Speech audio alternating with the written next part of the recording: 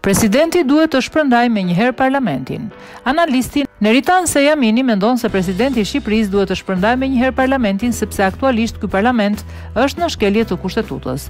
Sikur të isha në vendin e presidentit do të shpërndaja kuvendin menjëherë.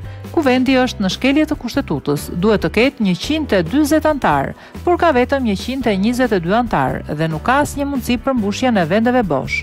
Çdo gjykatë në Shqipëri dhe në botë do të jepte të drejtë. Shqiptarët do të jepnin të drejtë. Ata që mendojnë se Shqipëria është ok pa një Kuvend të plotë, pa opozitë, pa Gjykatë Kushtetuese, pa Gjykatë të Lartë, pa prokuror të përgjithshëm, duhet të jenë nga ndonjë botë paramoderne, shkruan ai.